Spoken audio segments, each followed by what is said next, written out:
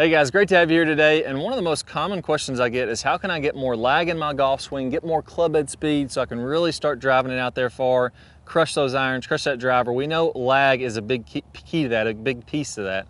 Well, the problem, the number one problem I see is people come in and they're always saying, I ask them what they're focusing on, and they always say, I'm trying to hold this angle as long as I can. I just want to hold that angle all the way through contact. That way I can keep lag for as long as I can in the downswing.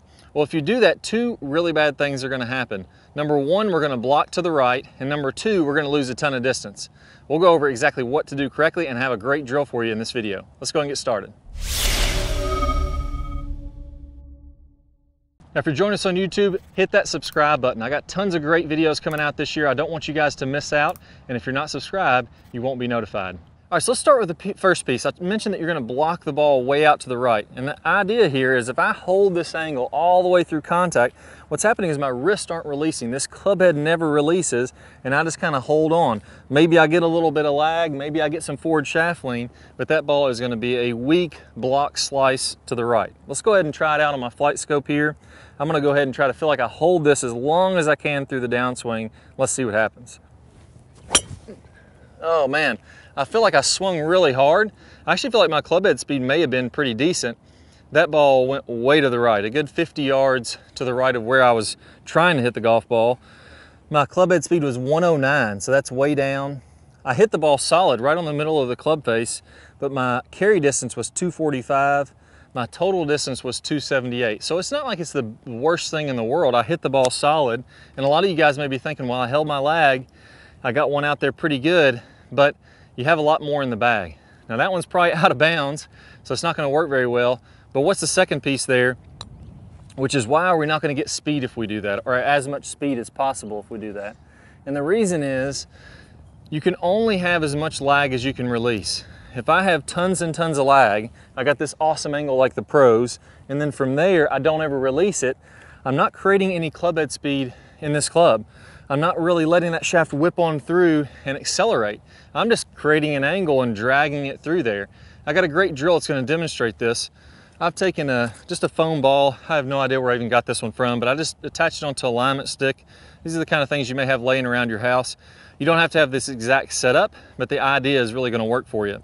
So if you put this ball on the stick, and I imagine this is a swing, what I wanna focus in on here is in the very first part of the downswing, these bottom three fingers on my left hand. As I start down, I wanna keep those fingers back. I don't wanna be releasing those and releasing my wrist this way, which would be a cast motion. I wanna be holding those back as I start the downswing. Now, as your left arm gets about parallel with the ground, that's what we call the max lag position. That's when you're gonna have the most amount of lag in your swing. Pros are gonna have about 65 degrees. If this was 90, just a direct 90 degree angle. It's gonna be a little sharper to make about a 65 degree angle. Now from there, you have to release this as hard as you can to what we call the straight line release position. I should be thinking, get rid of that lag as fast as possible. And if you do that, what's gonna end up happening is you're gonna have no problem getting a ton back here because you know you're gonna get rid of it in time. You're gonna hit the ball straighter, you're gonna have that nice draw, and you're gonna have a lot of power. So the second piece there, I remember keeping my fingers back. Now, I want to turn those fingers down so that this butt end of the club be pointing right toward my chest at this point. And if I do this correctly, this ball is going to fling off there and going to shoot out in front of me. If you have one of these at your house, try to see how far you can get that thing to release out in front of your, your body.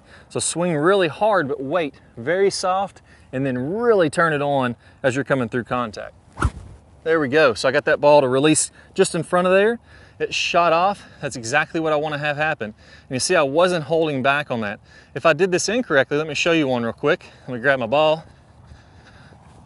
So what's going to happen here is if I release this early, it's going to shoot off in the wrong direction.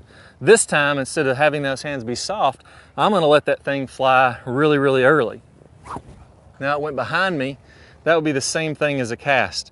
So that's how you know you're, you're not doing it correctly. I got to let that thing fly in front of the golf ball. So now let's take that same idea, soften the transition, keep those hands, those, those three fingers angled back. So I feel like this club's going this way. And then from there, I'm gonna hammer on it. I'm gonna feel like I turn that club back up to where the butt end of the club's facing my chest. So I'm letting that lag release absolutely as hard as I can. When I release that, notice how the face is going to turn on over also. I'm going to have that draw versus a big block to the right, like some of you guys may be having when you're trying to hold that angle. So let's give it a whirl. Club speed 109. Uh, distance was 245 and 278 after roll. Let's see what it is on this better swing. There we go, much better. Wasn't the best shot in the world, but I'll take it. Dead straight. A nice little draw like I wanted.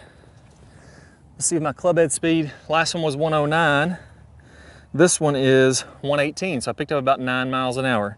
118.4. My carry distance went up to 280. My total distance went up to 302. So I picked up speed, distance, and accuracy by letting that lag go as hard as I can through the ball. Now there's one piece of this that we didn't really go into a lot of detail in. We didn't talk a ton about the straight line release. Where does it happen? What should I feel? What should my body be doing? Well, I've got a great bonus video. That's one of the five pieces of the Top Speed Golf system, and I'm gonna play a preview for one of my best straight line release videos. So if you wanna pair that great lag we had up here with that great release, that's the next video I would recommend you guys watch. I'm gonna play a preview here in a second. Just click the card or the link down below in the description. You'll get instant access to that video and you'll start releasing like a pro. A common misconception I see is that we wanna create lag and we just wanna hold that lag all the way on through contact and get as much lag as we can coming through contact and that's simply not true.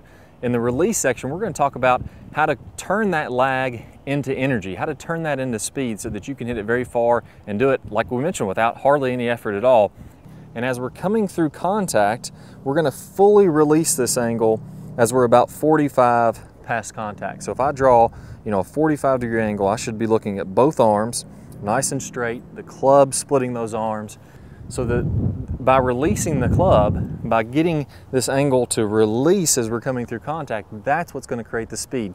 Our hands are moving a very short distance, our club is moving a very long distance through contact, and it creates that whip-like effect. Very different swings hitting the exact same position. So first let's take a look at Dustin Johnson, releasing the club 45 past.